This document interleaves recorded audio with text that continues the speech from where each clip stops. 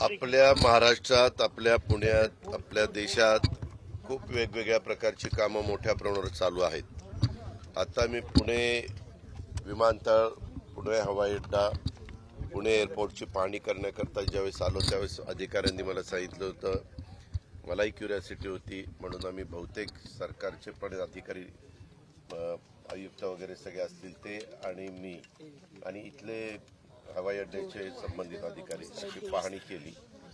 साधारण आत्ता आपल्याकडे जी काही कॅपॅसिटी होती ते कमी पडत होती. आणि म्हणून मला चांगलं आठवतं की गिरीश बापट साहेब ज्यावेळेस आपले खासदार होते त्यावेळेस त्यांनी पण खूप प्रयत्न केलेला होता कारण डिफेन्सची जागा मिळाल्याशिवाय त्या गोष्टी होत नव्हत्या. डिफेन्सची जागा द्यायला त्यांनी सात करोड रुपये मागितलेले होते परंतु नंतर पीएम ऑफिसने लक्ष घातल्यामुळं तिथं एक रुपये पण मागण्यात आला नाही. नंतर म्हणजे पैसे न न मागता ती जागा अवेलेबल करून दिली. आणि आता तुम्ही पाहताय साधारण पुण्यामधल्या ज्या महत्त्वाच्या स्थळं आहेत ती स्थळं इथं दाखवण्याचा प्रयत्न केलेला आहे. पैठणी चार प्रकारच्या दाखवण्याचा प्रयत्न केलेला आहे. शिवाजी महाराजांचा राज्याभिषेक तिथं दाखवण्याचा प्रयत्न केलेला आहे. दीपमाळ दाखवण्याचा प्रयत्न केलेला आहे. अशा वेगवेगळ्या बाबी लहान मुलांना खेळण्याच्या करता पण काही एरिया ठेवलेला आहे असं फार चांगली सोय केलेली आहे. जवळपास तुम्ही आल्यानंतर तुमच्या बॅग्स वगैरे ज्यावेळेस घ्याव्या लागतात त्याच्यामध्ये पाच ठिकाणी बॅगची व्यवस्था केलेली आहे. लगेज ज्याला आपण म्हणतो ते. ते सगळं बघत असताना इथं साधारण किती वाढ झाली तर वर्षाला एक कोटी वीस लाख लोक ये जा करू शकतील एवढी ह्याची कॅपॅसिटी आणि पूर्वीच्या ह्याच्यातल्या असणाऱ्या बऱ्याचशा त्रुटी इथं दूर करण्याचा प्रयत्न केलेला आहे. आता इथं साधारण चौतीस काउंटर आहेत. अजून पलीकडं जुनं आपण जे वापरत होतो ते नंतर बंद करणार आहे आणि तिथंही अशाच प्रकारचं नूतनीकरण करणार हे नवं बांधलं परंतु त्याचं नूतनीकरण करणार आहे. आणि त्याच्यात चोवीस काउंटर होतील. अशा प्रकारचे प्रचंड काउंटर्स तिथं सगळे मिळून आपल्या पुणेकरांना उपलब्ध होतील. त्याच्यातनं माझ्या पुण्याच्या सगळ्या प्रवाशांना एक रिलीफ मिळेल सर्व्हिस चांगली मिळेल. विमान दहा आल्यानंतर ती दहा विमानं उभी राहिल्यानंतर त्याच्यातून डायरेक्ट व्यक्ती हे जे, आपल्या एअरपोर्टमध्ये प्र- हे करतील. त्यांना बसमध्ये बसण्याची गरज भासणार नाही. आणि दहा सफिशियंट आहे. साधारण आता दोन इंटरनॅशनल विमानं रोज पुण्यातनं जातात. एक सिंगापूरला जातं एक दुबईला जातात. त्याचा एकदम उजव्या बाजूला कोपऱ्यामध्ये इंटरनॅशनल सर्व्हिसच्या करता व्यवस्था केलेली आहे. परंतु ती विमानं गेल्यानंतर ज्यावेळेस रश होतो त्यावेळेस ह्याच्यामध्ये देखील आपल्याला अंत डोमेस्टिकला देखील त्याचा काउंटरचा उपयोग करता आला पाहिजे. अशी सगळ्या प्रकारची सोय त्यांनी केलेली आहे आणि चांगलं काम केलेलं आहे. आमचा प्रयत्न की पंतप्रधानच्या हस्ते ह्याचं उद्घाटन घ्यायचं आहे माझी मा ज्योतिराजे सिंधियांनी पण पाहणी त्या बाबतीतली केलेली आहे. आणि मी मगाशी सांगताना एक राहून गेलो की जुनं पण आता तिथं भिंत आहे परंतु ते दोघं जॉईंट होणार आहे जुळेन नवं. तिकडचं नूतनीकरण झाल्यावर. आणि भरपूर पार्किंगची व्यवस्था आहे सगळं ऐसपाईस करण्याचा प्रयत्न केलेला आहे. गर्दी राहणार नाही. आल्यानंतर प्रवाशांना ताबडतोब सगळ्या बाबी त्यांच्या झटपट उरकतील अशा प्रकारची सोय केलेली आहे. आतमध्ये बघितल्यानंतर किरकोळ किरकोळ कामं राहिलेले पण काम दर्जेदार झालेलं आहे. इकडनं पण आपण जर बघितलं तर साधारण आपला महाराष्ट्रीयन टच या सगळ्याला देण्याचा प्रयत्न झालेला आहे. दादा एकोणीस तारखेला याचं विमानतळाचं उद्घाटन होणार आहे का आणि मोदी साहेब? मोदी साहेबांनी साधारण त्यांचं एकोणीस तारखेला आल्यानंतर सैनिक स्कूल सातारचं सातारचं एक पा तिची पाणीपुरवठा स्कीम ती त्या दोनच्या गोष्टी तिथं उद्घाटनाच्या करता कार्यक्रमाच्या करता येणार आहेत. आपल्या इथंही काही स्टेशन मेट्रोची चार तयार आहेत. आणि एअरपोर्ट पण तयार आहे. आम्ही आता विनंती करणारे की हे घ्या. असाही प्रयत्न करायचा आमचा विचार आहे. शेवटी तो त्यांचा अधिकार आहे प्राईम मिनिस्टर ऑफिसचा पीएम ऑफिसचा की जर ह्या धावपळीमध्ये जर एखाद्या ठिकाणी कुठल्या कार्यक्रमातनं देखील इनॉग्रेशन त्यांनी केलं बटन दाबलं तरी चालू शकतं. कारण आता जवळपास काम उरकत जवळपास थोडं थोडं तर राहिलंय किरकोळ किरकोळ तर उरकत आलेलं आहे. दादा गोळीबाराच्या घटना सातत्याने घडतायत. रात्री गोळीबाराची घटना घडली आहे. क्राईम कुठं गृहमंत्री कमी पडतायत का? किंवा मग हे मी काय ऐका. ही घटना ही अतिशय चुकीची घडलेली आहे. अशा पद्धतीनं महाराष्ट्रामध्ये घडताच कामं नाही.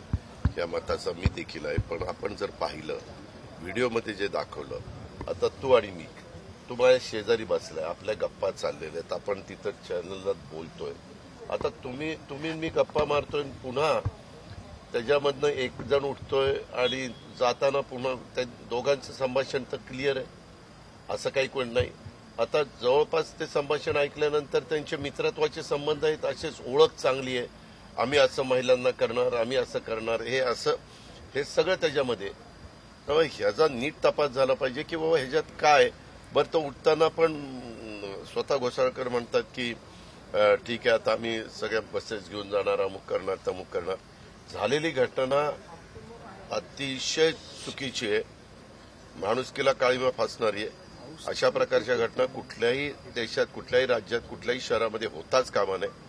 पण जरी बाहेर सगळी पोलीस यंत्रणा असली आणि आत जर दोघं कोण बसलेले आहेत आणि ते त्यांच्या धंद्या पाण्याच्या गोष्टी अतिशय आपलेपणाने चर्चा करतायत आणि त्याच्यातला एक जण तो हाफ चड्डीतच दिसतोय तिथं म्हणजे हाफ पॅन्टमध्ये आणि टी शर्टमध्ये म्हणजे इतकं ते दोघं दोघांनी पण स- संभाषण काल दाखवलेलं आहे. मग नंतर गेल्यानंतर त्यांनी तशा प्रकारचं केलेलं आहे. त्याच्यामुळे ह्याचा नीट तपास झाला पाहिजे व खरं काय? कारण आता काय करायला लागले? विरोधक एकदम त्याचा मोठ्या प्रमाणावर सरकारची बदनामी करण्याचा प्रयत्न करतायत. होम मिनिस्टरचा राजीनामा मागतायत अशा प्रकारचं त्यांना ते निमित्त मिळालेलं हे आम्ही नाकारत नाही.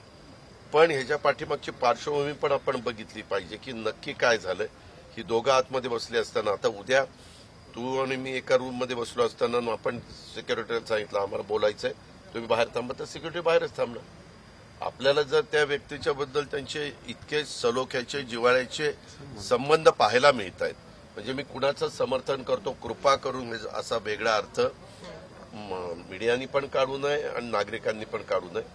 झालेली घटना अतिशय दुर्दैवी आहे अतिशय दुर्दैवी आहे. आणि त्या संदर्भामध्ये कालच स्वतः मुख्यमंत्री उपमुख्यमंत्री व- म्हणजे मुख्यमंत्री उपमुख्यमंत्री वर्षावर ते नागपूरला होते वर्षावर गेले आणि त्यांनी चर्चा पण त्या बाबतीमध्ये केलेली. आणि इतर पण आता धागेदोरे काय कशामुळे घडलं हे दोघे इतकं चांगलं बोलत असताना हसत असताना एकमेकाचे तशी थोडीशी चेष्टा मस्करीच ते करत होते असं अं, ह्याच्यामध्ये क्लिपमध्ये तरी पाहायला मिळतं. पोलिसांनी दम दिला गुंडांना की अशा पद्धतीचे रील्स अशा पद्धतीचे गुन्हेगारी प्रवृत्ती करणारे व्हिडिओ टाकायचे नाहीत सोशल मीडियावर. पुण्यात. आयुक्तालयात तुम्ही पाहिलं. पण तरी देखील हे सुरूच आहे. रील स्टार गुंड अपलोड करतायत व्हिडिओ इंस्टाग्राम आपण म्हणताय अशी बातमी वेगवेगळ्या इलेक्ट्रॉनिक आणि प्रिंट मीडियाला आलेली आहे. आज आपले सीपी नाशिकला एक कार्यक्रम आहे चीफ मिनिस्टर साहेबांचा. तिकडे गेलेले. मी याच्या संदर्भात सीपी आल्यानंतर बोलणार आहे. मी सीपी आणि एसपी नवीन आले. पुन्हा सीपी आणि पुन्हा एसपी त्यांना हेच सांगितलेलं चार्ज घेत असताना त्यांनी मला फोन केला होता गडसी म्हणून. आणि मला मला एसपी भेटायला पण त्या दिवशी आलेले होते. सीपी पण भेटायला येणार होते पण तिकडं रात्री उशिरा ते गेले का पहाटे गेले. मी रात्री उशिरा आलो. मी त्यांना ही गोष्ट सांगणार आहे की बाबा एवढं करून पुन्हा जर कुणाची मस्ती असेल तर ती मस्ती ही पोलीस ही खाक्या दाखवून आपल्याला ते कंट्रोलमध्ये आणावी लागेल. कायदा सुव्यवस्था पूर्णपणे भीती ही लोकांच्या मनातनं गेली पाहिजे अशा प्रकारचं निश्चितपणे नियोजन. हे डिपार्टमेंटकडनं केलं. राज्यसभा सातत्याने ज्या घटना घडतायत त्यामुळे महाराष्ट्राचा विकास कुठेतरी मागे पडतो असं वाटतं काय नाही नाही विकासाचा ह्याचा नाही पण क्राईम मला काय- कॅपिटल एक- एक- किंवा एक- एक मिनिट थांब थांब थांब. पहिली घटना मुळशीला घडली. ते गुंडच प्रवृत्तीचे होते. गुंडांनीच गुंडांचा काटा काढला. हे तर खरं आहे ना? का दुसरं कोण आलं होतं? उल्हासनगर. एक मिनिट. हे तसं झालं. उल्हासनगरच्या बाबतीमध्ये जरी सत्ताधारी पक्षाचे आमदार असले तरी कारवाई ताबडतोब करण्यात आलेली आहे आणि त्यांचे जमिनीच्या व्यवहारातनं झालंय. कारण ते तर निवांत पोलीस स्टेशनला बसलेले तिथंही आपल्याला दिसतंय. बर त्याच्यामध्ये पोलिसांचं म्हणजे खरोखरीच कौतुक केलं पाहिजे एक नागरिक म्हणून. कारण आत गोळ्याचा आवाज आल्यानंतर एकाच्या हातात रिव्हॉल्वर असताना देखील दुसऱ्याकडे पण रिव्हॉल्वर होती. त्याने काढण्याचा प्रयत्न केला पण तो त्या झटापटीत त्याला काढता आलं नाही. नाहीतर आणखीन काही वेगळं घडलं असतं का सांगता येत नाही. पोलीस आले. पोलिसांनी तिथं दो, दोन पोलीस आतमध्ये आले आणि त्यांनी ते कंट्रोल केलं. म्हणजे थांबवलं त्यांना पकडलं आणि त्याच्यातून जो जखमी होता त्याला ताबडतोब एअरपोर्ट हॉस्पिटलला नेलं. आता तो आउट ऑफ डेंजर आहे. त्याची माहिती पण आम्ही रोजच्या रोज घेतोय. आता पूर्णपणे तो त्याच्यातनं निघालेला आहे बाहेर निघालेला आहे. आणि दुसरी गोष्ट म्हणजे जे काही बाकीचे लोक होते त्याच्यात रुलिंग पार्टीचा आमदार वगैरे असा कुठलाही विचार न करता त्यांना पण अरेस्ट करलेली आहे आणि पोलिसांची पुढची कारवाई चालू देताना काळजी घ्यावी अहो. त्याच्यामध्ये आपल्याला बिहार आणि युपी वगैरे याची उदाहरणं ते देतात. त्याच्यामध्ये विरोधकांचं विरोधक तसा आरोप करणार.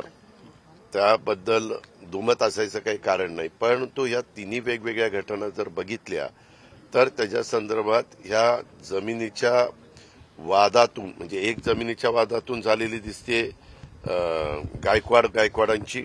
दुसरी आहे ती कशात नाही ते आता प- निष्पन्न होईल. तिसरी जी झालेली आहे ती त्यांचे पूर्वीचेच जे काही त्यांचे गँगवॉरच्या संदर्भातले एकमेकाच्या बद्दल शत्रुत्व होतं त्याच्यातनं झालेली आहे. राज्यसभा तिन्ही निवडणुकीच्या गुन्हे संदर्भामध्ये लायसन रिव्हॉल्वर म्हणून झालेत. मग रिव्हॉल्वर देताना लायसन रिव्हॉल्वर रिव्हॉल्वर तपासूनच पहिल्यांदा कलेक्टरकडनं तपासलं जातं एसपी कडनं तपासलं जातं माहिती घेतली जाते सगळं काही केलं जातं. आता उद्याच्याला कुणी लोकप्रतिनिधी कुठल्याही पक्षाचा असू तो लोकप्रतिनिधी आज पाच लाख लोकांचं प्रतिनिधित्व करतोय त्याला बाहेर फिरावं लागतंय म्हणून रिव्हॉल्वर त्या ठिकाणी दिलं. आता रिव्हॉल्वर दिल्यानंतर त्यांनीच जर अशा प्रकारचे गोळीबार केला तर त्याला दोष तुम्ही जरी एसपी असेल आणि हे कलेक्टर असतील तर त्या दोघांना दोष देऊन काय उपयोग आहे? याबद्दल कधी कधी माणसाच्या मनात आता म- कालची पण घटना बघा ना. ती दोघं इतकी चांगली गप्पा मारतायत चर्चा करतायत आणि त्याच्यातनं तो निघून जातोय. म्हणजे तो स्टेटमेंट करत असताना त्याच्या मनात मात्र दुसरं काहीतरी चाललेलं होतंच. की बाबा बाहेर म्हणजे उठल्यानंतर असं करायचं. पण चेहऱ्यावर तर काहीच दिसत नाही. काही म्हणजे काहीच दिसत नाही. त्याच्यामुळे देताना खूप ठिकाणी अशा प्रकारचे रिव्हॉल्वर वगैरे लायसन देताना फार जबाबदारी लक्षामध्ये घेऊन दिलं जातं. ग्रामीण भागामध्ये देत असताना अनेकदा कुठंतरी चोऱ्या होतात कुठं काही दरोड्याची शक्यता असते त्या वस्तीवर ते राहत असतात. त्याच्याकरता आपण तिथं देतो. आणि काही ठिकाणी तर मार्केटमध्ये विदाऊट लायसन देखील ते अवेलेबल होतं. तसे पण काही गोष्टी असू शकतात. अरे एकाने बाबा बोला राज्यसभा निवडणुकीच्या संदर्भामध्ये अरे एकाने बोला ना मी जाईल निघून. सासवडला ईव्हीएम मशीन चोरी झालेली आहे. दोघं चोरटे जे आहेत त्याच्यामध्ये पकडले आणि त्याच्यामध्ये अनेक अधिकाऱ्यांचं निलंबन सुद्धा झालं. चालेलं आहे. ती गोष्ट इलेक्शन कमिशननी फार सिरियसली घेतली. त्याच्याबद्दल जे चोरटे सापडलेले ते तसे बघितले तर त्यांना त्याच्यात काहीतरी असेल म्हणून त्यांनी ती चोरी केलेली दिसते. तपास चाललेला आहे. त्याच्यात ते सापडले पण. एसपी म्हणाले होते की आम्ही चोवीस तासाच्या आत पकडण्याचं काम करतो. कारण सीसीटीव्हीमध्ये त्याच्यातले काही चेहरे दिसलेलेच होते. मात्र ती इलेक्शन कमिशनने सिरियसली घेतल्यामुळं तिथले प्रांत तिथले तहसीलदार तिथले काही अधिकाऱ्यांना मात्र निलंबित निलंबन केलेलं आहे. काय? एनसीपी ते बघतील ना ते दोघं बघतील त्याच्यात आपण काही लक्ष द्यायचं कारण नाही. ते आता नवीन जो काही इलेक्शन कमिशनने निकाल दिलेला आहे तो निकालाची सगळी माहिती घेतात. त्याच्या संदर्भामध्ये काय तो मार्ग काढला जाईल. त्याच क्लेमनुसार पार्टी क्लेम करते ना. ठीक आहे आम्ही बघू ना बाबा. दादा राज्यसभा निवडणुकीच्या संदर्भामध्ये भाजपनं नऊ नावं पाठवल्याची माहिती आहे. आपल्या पक्षाचा काय? भाजपच्या संदर्भामध्ये त्यांनी किती नावं पाठवायची हा सर्वस्वी त्यांचा अधिकार आहे. किती जणांचं फॉर्म भरायचा हा त्यांचा अधिकार आहे. पक्ष पक्षाच्या बद्दलचा अंतर्गत निर्णय घेत असतो. आम्ही परवा दिवशी आम्हाला ह्या सगळ्या नि- इलेक्शन कमिशननी निकाल दिलेला आहे. आम्ही फॉर्म भरायच्या आधी काही प्रमुख लोक एकत्र बसून आमच्याकडे पण वेगवेगळ्या सहकाऱ्यांनी सात आठ लोकांनी म- मागणी केलेली आहे. आम्ही एकत्र बसून त्याच्यातनं नाव निवडू. दादा. दादा सव्वीस जानेवारीला जी घटना झाली ती पत्रकाराला धक्काबुक्कीची त्याचा अजून अहवाल देखील आला नाही. कुठे? कार्यक्रम होता त्यावेळी. तुमचं कार्यक्रम दादा पाण्याच्या टाकीचं उद्घाटन जे गोखले तुम्ही आलेच नाही. नाही मी नव्हतो त्या मी काय केलं? माझे तो कार्यक्रम केला परेड केली. ते सगळे केल्यानंतर मी पुणे जिल्हा शिक्षण मंडळाची नियामक मंडळाची मिटिंग घेतली वार्षिक सर्वसाधारण सभा घेतली. आणि त्याच्यानंतर सीएम साहेबांचे फोन येत होते की तेव्हा जे काही मराठा आरक्षणाच्या संदर्भातला मुद्दा फार त्यावेळेस सेन्सिटिव्ह झाला होता. आणि तो झालेला असल्यामुळं आम्ही मी नंतर बाबा एकीकडे हा इतका सेन्सिटिव्ह मुद्दा आहे आणि आपण उद्घाटन करत बसायचं मेसेज वेगळा जातो. म्हणून मी ते थांबवले. मी दुपारचे सगळे कार्यक्रम रद्द केले. इव्हन सुनीलचा पण कार्यक्रम त्यांनी मोठा घेतला होता. आता मला वाटतं अकरा तारखेला अकरा तारखेला त्यांना वेळ दिलेली. अकरा तारखेला आमचं राष्ट्रवादीचं युवकांचा एक मेळावा आहे. आणि त्याच्या वेळेस ते झाल्यावर मी तिथं जाणार आहे. त्याच्यामुळे तसं आणि मग नेहमीप्रमाणे आपण बातम्या पण लावल्या Ajit Pawar not reachable not reachable नाही लावल्या नाही लावल्या बरं जाऊ दे. बारामतीवरून तुम्ही खुलासा केलाय खरं तर तरी पण काही लोक तुम्हाला टार्गेट करतात. पण त्या कार्यक्रमाला येण्यापूर्वी व्हिडिओ आहेत ज्यात पोलीस मारहाण करताना स्पष्ट दिसत कॅमेरामन मी चौकशी करतो. मी चौकशी करतो. दादा बारामतीवरून तुम्ही खुलासा केला खरं तर तरी पण काही लोक तुम्हाला टार्गेट करताय ठरवून.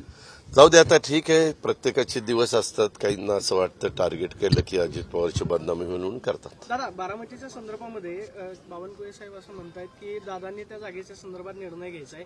याच्या आधी बावनकुळे असं सातत्यानं सांगायचे की नाही ती जागा भाजपच लढवणार. ठीक आहे बारामतीच्या आम्ही एकत्र बसून निर्णय घेऊ. तुम्हाला सांगू शिंदे साहेबांना किती जागा गेल्यात त्यांच्या पक्षाला?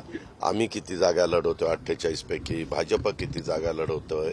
हे सगळं आपल्याला नीटपणे सांगू. इतर कोण मित्र पक्ष आले तर त्यांना किती जागा मिळतात? रोज नवीन नवीन नवीन बातम्या त्या बाबतीमध्ये पसरतायत. चर्चा होती दबक्या आवाजात होती. कोण दृश्य अदृश्य असं सगळंच काहीतरी.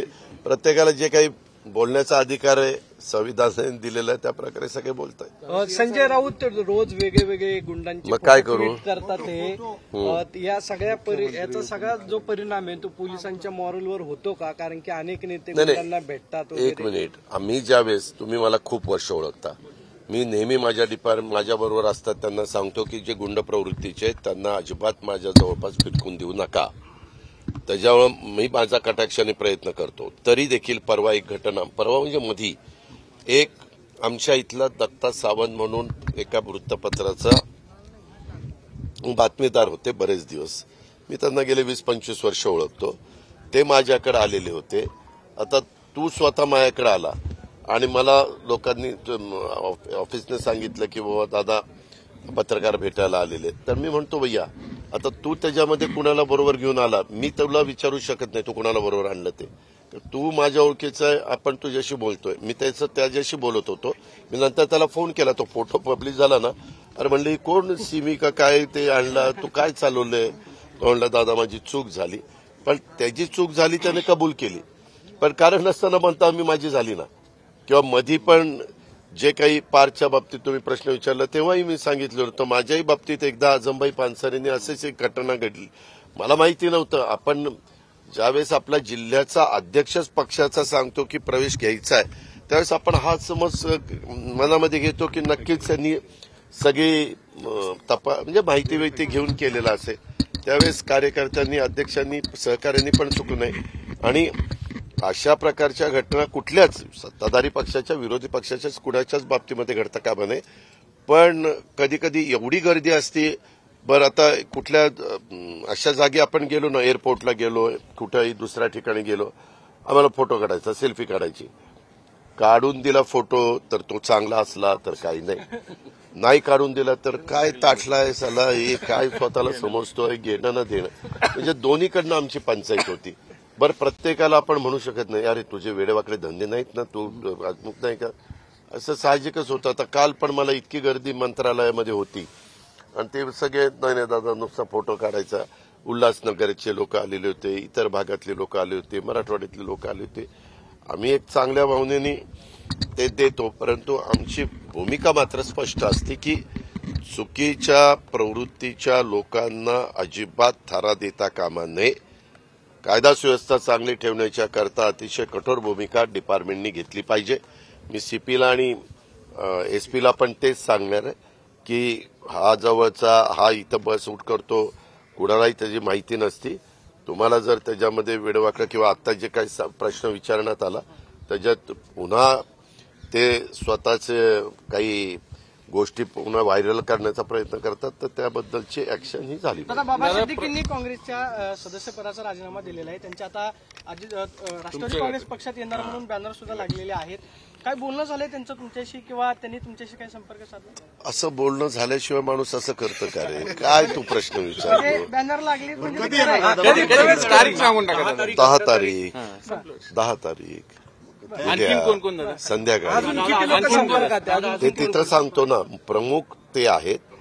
आम्ही त्याच्यानंतर अकरा तारखेला पण काही सहकारी राष्ट्रवादीमध्ये प्रवेश करणार आहेत. आम्ही सगळ्यांना आव्हान करतोय. मी ह्या निमित्तानं पण आव्हान करेल की इलेक्शन कमिशनने निकाल दिलेला आहे. पक्ष चिन्ह झेंडा. आता त्याच्यामध्ये सगळ्यांनी एकत्र येऊन त्या ठिकाणी बरोबरीनं काम करावं.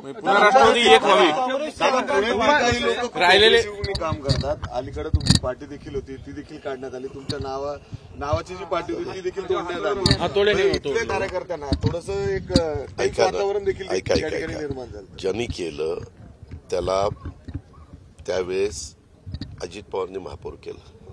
त्याला कोणी पार्टीतलं सपोर्ट करत नव्हतं. त्याला अध्यक्ष करण्याच्या करता मीच पुढाकार घेतला. माझ्याकडे आज पण त्याचा राजीनामा आहे. की मधल्या काळामध्ये थोडंसं सुनीलला माहिती आहे.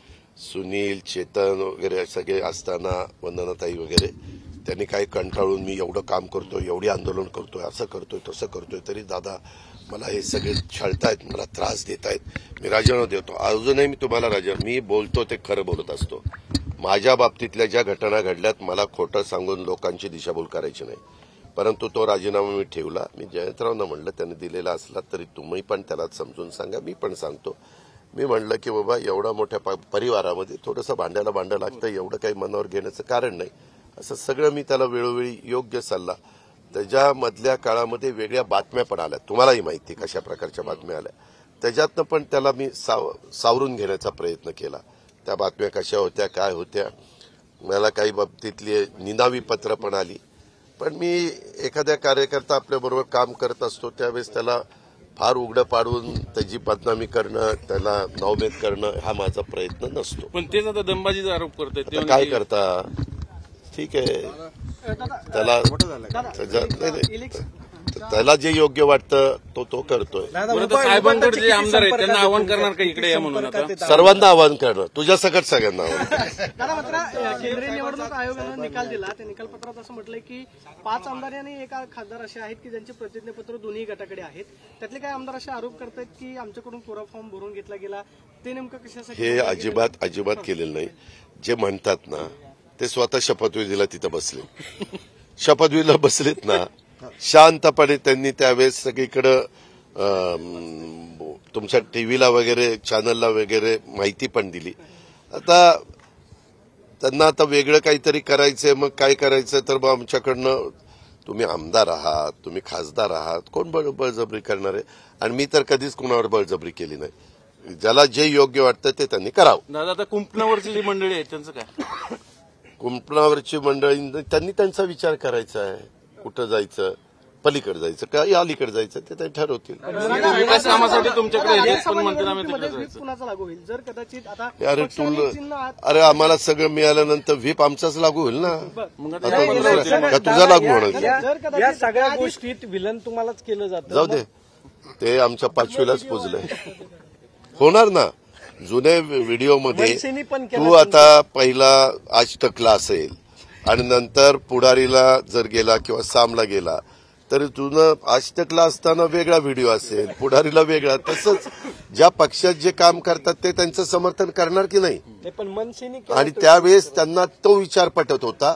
नंतर माणूस आहे माणसाचे विचार बदलतात. माणसाला काही गोष्टी वेगळ्या नंतर पटायला लागतात. पूर्वीच्या गोष्टी त्या बाबतीमध्ये त्याच्यापेक्षा असं काही वेगवेगळे बदल होतात आणि त्याच्यातनं मग नंतर तसं स्टेटमेंट येतं. त्यांनी त्या काळात तो आता आहे तिथं असताना काय स्टेटमेंट केलं त्याला महत्त्व आपण देऊया. ही इमेज डॅमेज करण्याचा प्रयत्न होते जुने व्हिडिओ काढून असू दे. आम्हाला त्याच्याबद्दल काय वाटत नाही. त्यांना जे योग्य वाटतं ते त्यांनी करावं. दादा सीएम साहेबांचा बर्थडे शुभेच्छा त्यांना. शुभेच्छा. सकाळी फोन लावलेला होता. तिथल्यांनी सांगितलं की फोनवर अवेलेबल झाल्यानंतर फोन जोडून देतो. तुझा तुला जो लावताना तर लावतो एका अधिकाऱ्याशी बोलताना तुम्ही तिथे म्हणालात की माझ्यावर आरोप होतो. मी बिल्डर आणि कॉन्ट्रॅक्टरसाठी काम हो नाही नाही. काल मला कुणी नाही नाही. काल कुठंतरी एक कार्यक्रम होता भोसरीला का कुठं? तिथं सांगितलं की अजित पवार सहाला उठतात आणि कामाला लागतात आणि असं होतं. तेव्हा तर नुसते बिल्डर्स त्यांच्यावर असतात. आपण आत्ता बघा आत्ता कुठला बिल्डर माझ्याबरोबर आहे? हे उगीच आणि यांना मीच तयार केलेले कार्यकर्ते पण आता इतके त्यांना पोपटासारखे बोलायला लागलेले आहेत. काही पण बोलतात मला काही त्याचं वाटत नाही. आज आपल्या इथं पुणे शहराच्या वैभवामध्ये भर घालणारे एक चांगल्या प्रकारचं पुण्याचं एअरपोर्ट झालेलं आहे. त्याचा रास्त अभिमान आपल्याला सगळ्यांना आता ते लवकरात लवकर बाकीची पण राहिलेली कामं पूर्णतोला व्हावीत. आणि आपल्या प्रवाशांना आपल्या नागरिकांना बाहेरच्या येणाऱ्या नागरिकांना ही सेवा उपलब्ध व्हावी ही आमची भावना. धन्यवाद. देश विदेशातील प्रत्येक घडामोडींचे लाईव्ह अपडेट मिळवण्यासाठी आता साम टीव्हीच्या सर्व सोशल मीडिया प्लॅटफॉर्मला लाईक फॉलो आणि सबस्क्राईब करा. तसंच सर्व नोटिफिकेशनसाठी बेल आयकॉन प्रेस करायला विसरू नका.